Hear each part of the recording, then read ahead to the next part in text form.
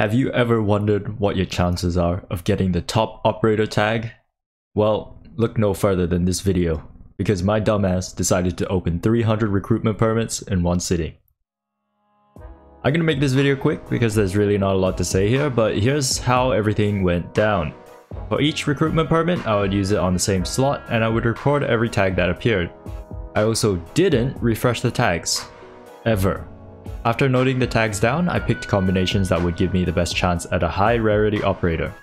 The only exception was the robot tag, since it's quite rare, I would only prioritize it if it appeared without any 4 star guaranteed tags. With that, I also noted down the rarity of each operator that was obtained from the recruitment permit. Now with that out of the way, let's see some numbers. Do keep in mind that 300 permits is still quite a small sample size, so these results are not the most accurate. For rarities, I obtained 257 3 stars, 51 4 stars, 1 5 star, and 1 6 star. You can see these values converted to percentages on the screen now. Basically, it goes without saying that I didn't get any 2 stars because why would you go for it unless you wanted to max pot them.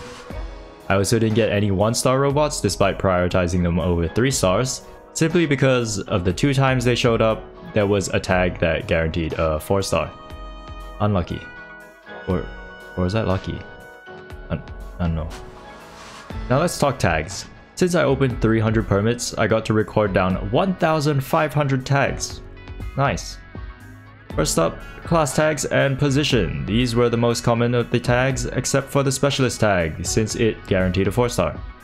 You're looking at a 6 to 7% chance of these tags popping up, not considering the specialist tag. Next, affixed tags. Likewise, to classes, the tags that didn't guarantee a 4 star or higher were seen more often. There's quite a sizable difference in frequency between the tags AoE or DP recovery and tags like survival, healing, and slow. The main contributing factor for this is that certain combinations can be made with the latter tags to guarantee 4 stars, such as healing plus vanguard for Myrtle or survival plus sniper for Jessica. In comparison, there are no combinations with AoE or DP recovery that straight out guarantee a 4 star. Affixed tags that can guarantee 4 stars by themselves, such as fast redeploy, shift, and debuff, saw even less frequency. And tags that guarantee 5 stars didn't even show up for me. As mentioned earlier, I had two instances of the robot tag showing up. Unfortunately, they were overshadowed by guaranteed 4 star tags. Lastly for tags is qualification. The starter tag was up there with one of the most frequent tags, though I never chose it, and on the opposite side of the spectrum, the senior operator and top operator tags only showed up once each. So statistically speaking, they showed up at a 0.066666 recurring, you get the idea, chance. As you probably noticed, tags that are aligned to certain rarities often show up at similar rates. Tags that don't provide a chance at 4 stars, such as the range tag, all hover around the 6 to 7% frequency rate while tags that do provide a shot at 4 stars, such as the defense or survival tag, hover around the 2 to 3% frequency rate.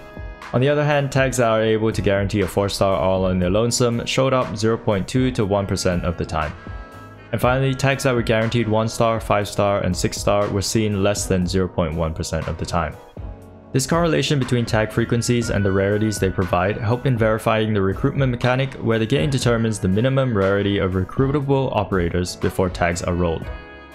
Alright, sorry to bore you with all those numbers. Here's what you're probably most interested in.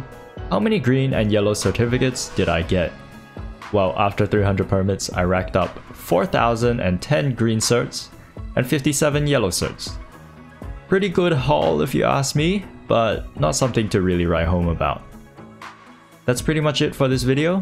In the description below, I'll have the link to the Google Sheet where I recorded everything. Please don't shame me, I know I missed some guaranteed 4 star combinations.